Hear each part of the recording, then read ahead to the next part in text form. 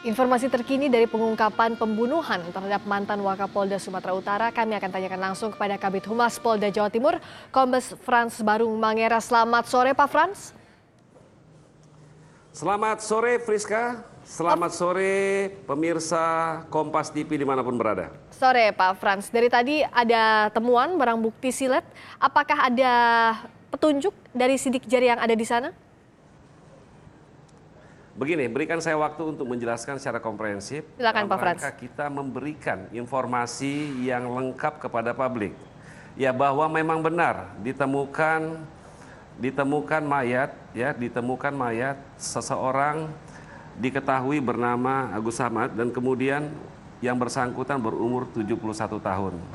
Memang benar bahwa di pergelangan tangan sesuai dengan otopsi, uh, otopsi yang ada dengan surat keterangan daripada saksi ahli menerangkan bahwa ada luka, bahwa memang benar ada tali yang kita temukan, bahwa memang ada benar, benar bercak darah di ruang makan, bahwa benar ada beberapa luka memar yang kita temukan.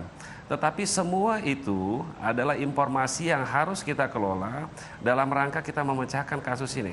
Kita selalu berangkat dari lokus ya, lokus ya. delikti ya. atau tempat kejadian perkara untuk mengungkap ini. Nah, oleh karena itu memang di dalam rangka kita menyampaikan fakta-fakta ini tentunya dengan scientific identification yang sudah kita laksanakan dua kombinasi yaitu laboratorium forensik dan satu lagi dari doktoral forensik. Nah, ini semua kita keluarkan dalam rangka kita melihat bahwa kasus ini harus kita sesuaikan dengan faktual-faktual yang ada. Ya. Nah, kami sudah mendapatkan itu semua. Nah, oleh karena itu memang kewajiban kami untuk mengungkapkan ini. Kami tahu bahwa publik membutuhkan informasi. Oleh karena itu memang di dalam rangka kita melihat bahwa kasus ini menjadi trending topik di ya. Jawa Timur, kami memang all out apalagi kami tahu bahwa ke, keluarga besar kepolisian daerah Jawa Timur saat ini memang sedang ya. berduka ya. dan keluarga juga kami sudah menyampaikan rasa duka ya. itu untuk mengungkapkan ini semua ya. dan semua itu rangkaian-rangkaian yang kami temukan itu akan kami menjadikan satu bangunan dalam rangka kita melihat bahwa kasus ini adalah kasus yang harus kita pecahkan begitu ya. Pak. Pak Frans, dari tadi ada temuan barang bukti di tempat kejadian perkara, apakah sudah ada indikasi kepada misalnya siapa pelaku atau orang-orang yang diduga menjadi pelaku? Uh, di dalam rangka problem solving ya dalam kasus ini memang kita harus lihat bahwa rangkaian sesuatu yang kita dapatkan dari locus delicti adalah suatu teori yang klasik namun tetap dipakai oleh Polri bahwa pengungkapan kasus 95% itu diawali dari pelaksanaan olah TKP atau locus delicti yang benar. Kita sudah melihat bahwa kasus ini sudah kita olah sedemikian rupa dan kita sudah mendapatkan bukti-bukti yang ada dalam rangka kita menyampaikan ke publik.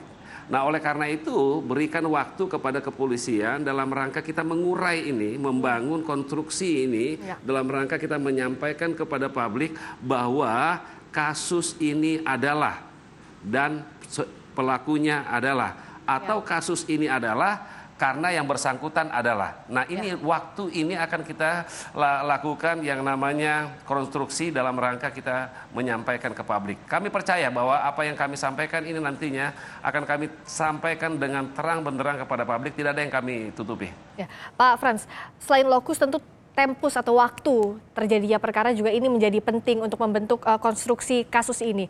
Apakah dalam waktu kejadian itu ada orang-orang yang menemui korban, ada orang-orang yang menemui almarhum, baik itu yang diduga mengenal ataupun tidak almarhum. Ini masuk dalam materi ya Mbak ya. Materi itu adalah sesuatu yang tadi yang saya bangun kami harus membangun dasar basicnya dulu, kemudian Mbak menanyakan tentang tempus dan orang-orangnya, tentunya ini materi.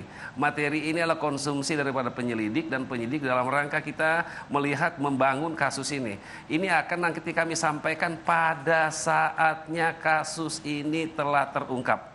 Nah, karena kalau kami membuka ini nantinya secepatnya, tentu ini ada hal-hal yang kami khawatirkan. Misalnya seseorang tadi A, B, C, D yang kami utarakan akan melarikan diri dan menghilangkan barang bukti dan lain sebagainya. Baik. Lalu untuk menyusun kasus ini lengkap dan nantinya diumumkan ke publik, pengembangan penyidikan saat ini fokusnya ke mana, Pak Frans? Kami sudah fokus ke doktoral forensik ya satu dan kemudian ke laboratorium forensik dan memang sudah kita dapati hal-hal yang berkaitan dengan dengan hal-hal yang kita temukan. Salah satunya memang ada luka di pergelangan tangan, memang ada tali yang kita dapatkan, Baik. dan memang ada eh, beberapa ra- racun serangga yang kita temukan, dan ada juga luka-luka yang kita temukan, bahkan bagian-bagian tertentu pada objek yang kita teliti sudah kita temukan bahwa itu mengalami kepatahan. Tetapi hal ini adalah sesuatu yang memang kita konsumsi dalam rangka internal kita untuk Baik. menyampai kita konstruksikan nanti dalam rangka membangun kasus ini. Percayalah bahwa kita akan terbuka dan percayalah bahwa Polri akan membuka tabir ini dalam rangka kita melihat bahwa semua kepercayaan publik yang ditumpahkan ke kita akan kita jawab. Tentu, publik percaya dan menunggu hasil pengungkapan kasus ini. Terima kasih Pak Frans, Kombes Frans Barung Mangera, Kabit Humas Polda Jawa Timur sudah bergabung di Kompas Petang.